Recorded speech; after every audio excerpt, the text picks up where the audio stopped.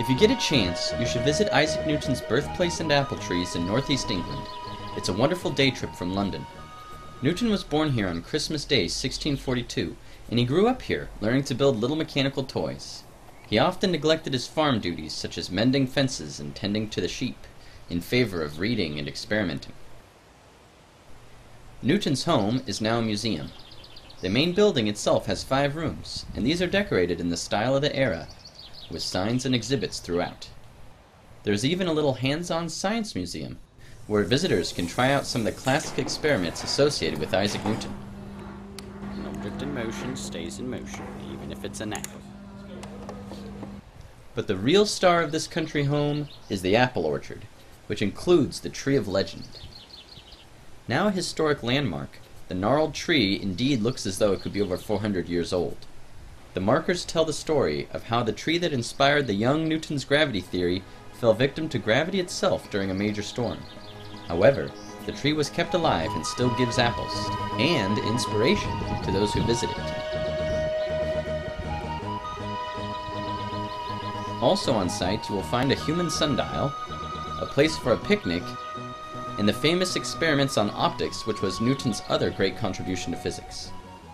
There are prisms, reflecting telescopes, and light color mixers. When Newton came of age, he left the countryside to attend Trinity College in Cambridge. Here you can find cloned relatives of the apple tree, grafted through vegetative propagation.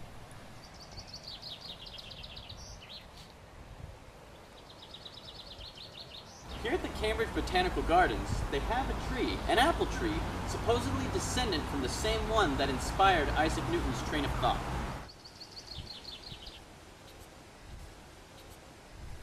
Cambridge is a great day trip too, and Trinity College is beautiful, thanks to King Henry VIII's money.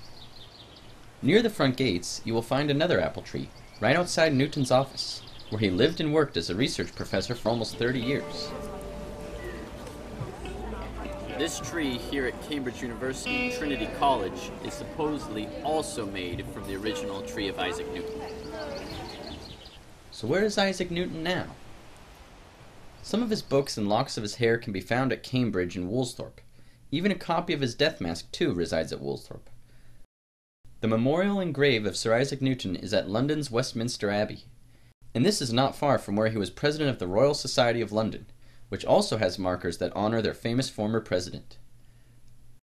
But of all the sights, none can equal the quiet, contemplative air of the orchard in front of the stone cottage at Woolsthorpe Manor.